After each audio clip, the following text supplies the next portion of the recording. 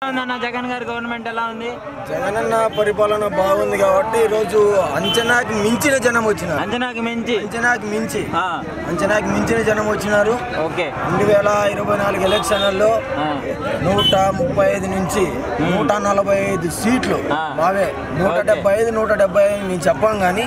నూట ముప్పై ఐదు నుంచి నూట నలభై వరకు సీట్లు మావే వస్తాయి మేమే గెలుస్తాం. మరి చంద్రబాబు గారు పొత్తులు పెట్టుకొని మిమ్మల్ని ఓడిస్తాము అని అంటున్నారు కదన్న. మంది. ఆ. ఒకరి జెండా మోసే ఎవడైనా సరే ఒకరి జెండా మోసే ఎవడైనా సరే మొత్తం పార్టీలన్నీ రమ్మను.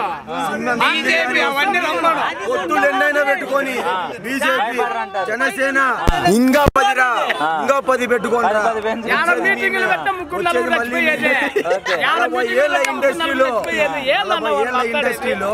నా పరిపాలన నచ్చితే నాకు ఓటేయండి అని అడ్డుకోలేని పొజిషన్లో ఉన్నాడు అన్న చంద్రబాబు నాయుడు పద్నాలుగేళ్ళు ముఖ్యమంత్రిగా అన్న. సంవత్సరాలు అందుకే పద్నాలుగేళ్ళు పెట్టి ముఖ్యమంత్రిగా ఉన్న చంద్రబాబు నాయుడు గారు నా పరిపాలన బాగుంటే నాకు ఓటేయండి అని అడుకోలేని పొజిషన్లో ఉన్నాడు ఈ రోజు మా అన్న మా అన్న నా నచ్చితే. నా పరిపాలన నచ్చితే నాలుగేళ్ళు మాత్రమే. నా పరిపాలన నచ్చితేనే నాకు ఓటేయండి. ధైర్యం. ఎవరికన్నా ఉందా? పాదయాత్ర చేస్తున్నారు కదా పాదయాత్ర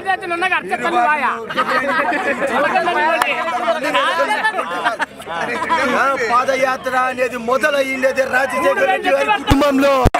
పాదయాత్ర అనేది పొత్తులు ఎన్నైనా పెట్టుకొని ఒక్కరిని కొట్టడానికి జగన్మోహన్ రెడ్డి అనే ఒక్క వ్యక్తిని కొట్టడానికి పది పన్నెండు మంది గుంపులు కట్టుకొని వస్తారు. చేతగాని నా కొడుకులు. జగన్ సింహం.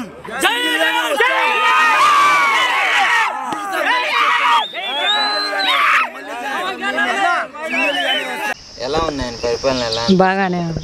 చేస్తున్నాడు ఇప్పుడు పేదలందరికీ పథకాలు కావచ్చు పెన్షన్లు కావచ్చు వాలంటీర్ సిస్టమ్ కావచ్చు ఇవన్నీ ఎలా అనిపిస్తున్నాయి బాగానే ఉంది ఇంతకుముందు చంద్రబాబు గారు పద్నాలుగు సంవత్సరాలు పరిపాలన చేశాడు కదా అప్పుడు ఏం చేశాడు? అవన్నీ ఎందుకయ్యా? ఇది బాగానే ఉంది.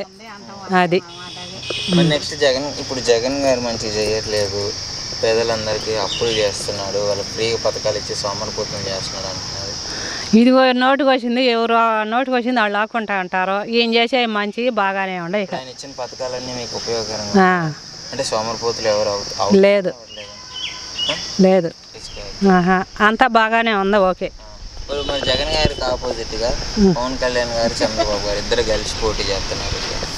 మరి ఇద్దరు కలిసి పోటీ చేస్తే జగన్ గారు ఓడిపోతారని భయంగా లేదా మీకు? ఎందుకు భయ్యా ఏ ఎప్- ఎట్టయినా వస్తాడు.